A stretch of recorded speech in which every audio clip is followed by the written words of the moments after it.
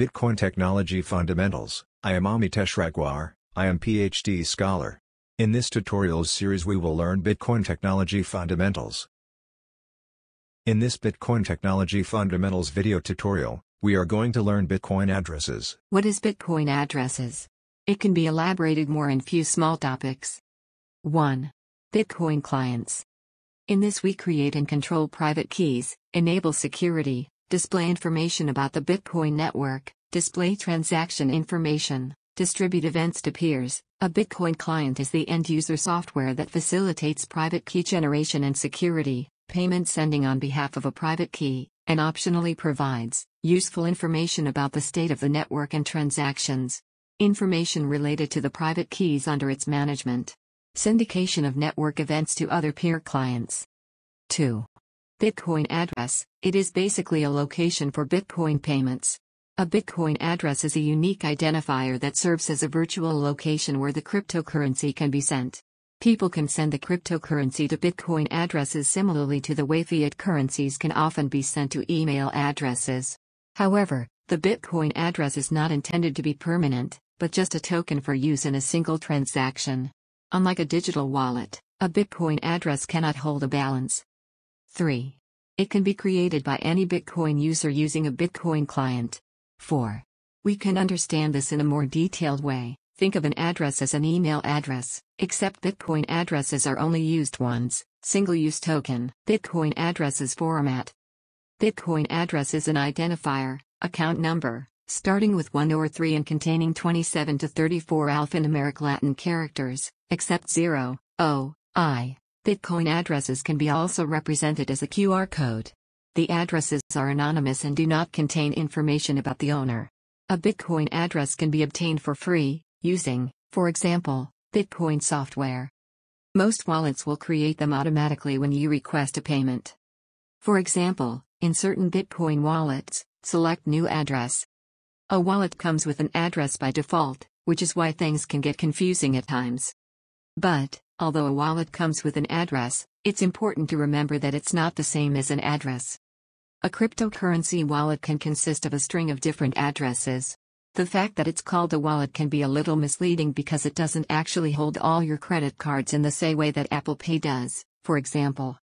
Instead, a cryptocurrency wallet is more similar to a keyring because it holds a copy of each private key and its corresponding address. If it's a good wallet, it should also automatically generate fresh Bitcoin addresses with every transaction.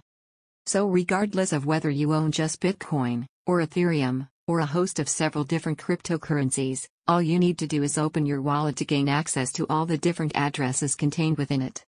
As you might expect, there are different ways you can access your cryptocurrency wallet on a desktop, on a browser, or by using a physical wallet.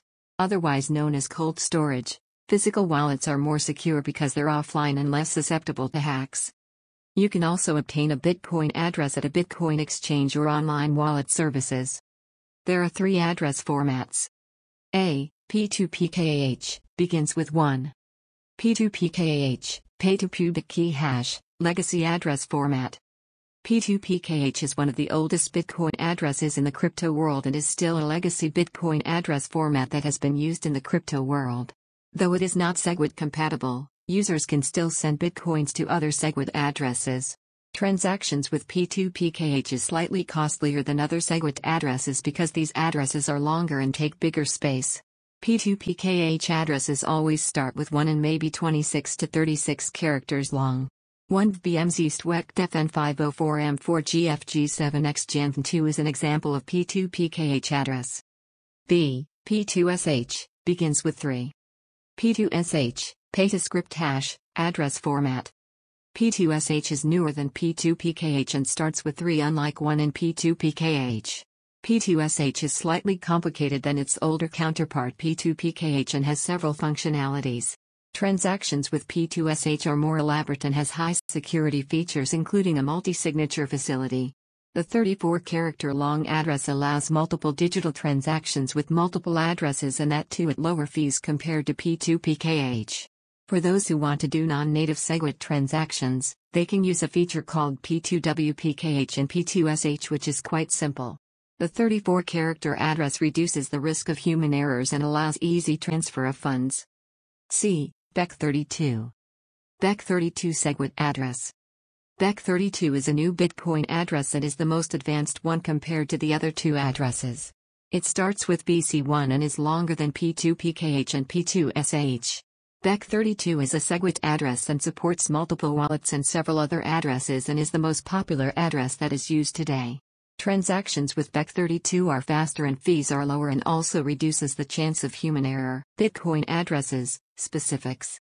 1. Can be created offline. 2. Case sensitive. 3. Precise. 4. Most wallets provide authentication, signature. 5. Methods to validate addresses. 6. Can have multiple private keys.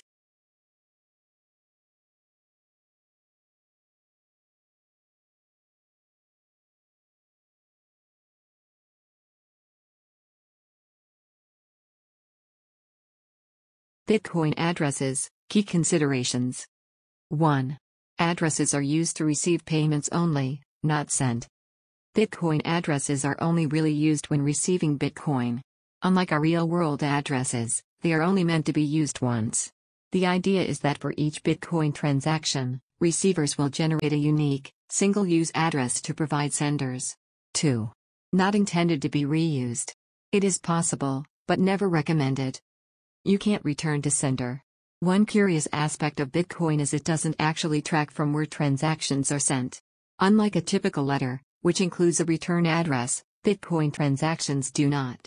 3. Addresses are not accounts. 4. Addresses are not wallets. 5. Addresses do not have a balance. Thank you for attending the tutorial on Bitcoin addresses. This was just a small introduction. In upcoming tutorials I will elaborate more on different topics. The next tutorial will be uploaded on topic Bitcoin networks. The next tutorial I will upload on next Saturday.